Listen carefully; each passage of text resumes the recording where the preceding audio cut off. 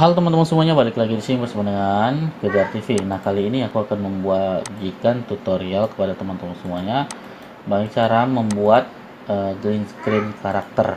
Jadi, uh, sebenarnya gampang banget ya. Cuman menambahkan hijau aja di belakangnya. Nah, kita akan gunakan uh, Photoshop. Jadi, kita gunakan Photoshop ya. Photoshop portable. Jadi dibuka aja langsung dia muncul. Nah, fungsi dari green screen ini uh, untuk menghilangkan background belakangnya aja gitu. Jadi kita tempel-tempel aja. Kita akan buka. Ini ada Photoshop CS3 sudah lama sekali ya. Sudah lama sekali. Nah pertama kita klik new. Kemudian di sini white nya 1280 720 oke okay. sip. Dan ini uh, backgroundnya ini kita langsung aja ya. Kita langsung kita cek warnanya warna ya warna terserah teman-teman semuanya. Karena uh, biasanya kalau warnanya itu padat biasanya langsung hilang nanti kalau ada aplikasi lain yang untuk menggreen screen tapi kalau di sini namanya green ya hijau jadi kita cari yang hijau aja. Ya yang hijau memang lebih nikmat ya. Nah di sini hijau. Nah kita tinggal tambahkan karakter-karakter apa yang teman mau uh, tambahin gitu? Atau bentuk-bentuk apa saja yang teman tambahin gitu? Misalnya ini ada custom shape di sini ada ada ikan. Nah ikannya tinggal tambahkan gini sep. Ini tapi ikannya jangan yang warna itu juga gitu ikannya warna biru gitu kan atau dan kemudian ada atau mau tambahin ini uh, kucing sep. Nah kucingnya ini atau mau ditambahin keong. Keongnya set. Nah kemudian mau tambahin eh, ini.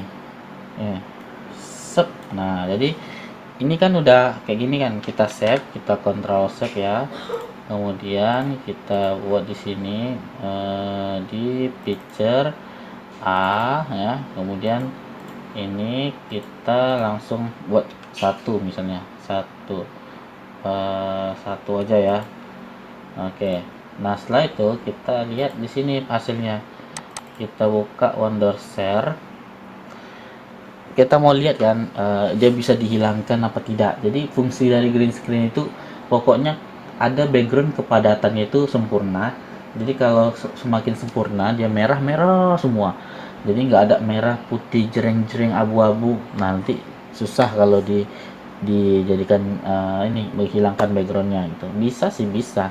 Kalau yang pro mungkin wah lanjut lah gitu. Nah kita kita cari yang tadi filenya picture kemudian A tadi kemudian ini. Nah kita masukkan ke sini. Dan kita lihat kita klik kanan. Di sini ada tulisan green screen. Oke kita lihat ya. Nah dia hilang ya karena layar hijaunya udah di di ini di chroma key-nya chroma key-nya itu aktif jadi hijaunya hilang. Jadi di sini tinggal uh, gambar ikan keong kucing burung warnanya warna biru. Jadi hilang belakangnya. Nah jadi seperti itu teman-teman semua. Ini jadi bagus nih kalau ditambahkan efeknya. Uh, elemen ya efeknya. Uh, Sep. Hmm, tuh jadi itu teman-teman semuanya ya silahkan teman-teman pilih. Background belakangnya itu mau itu hijau mau itu merah mau itu uh, apa abu-abu hitam gitu kan. Nah selagi dia tuh bisa dirubah bisa. Nah seperti ini. Ini warna warnanya ya. Nah itulah cara membuat screen screen karakter ataupun bentuk-bentuk yang teman suka.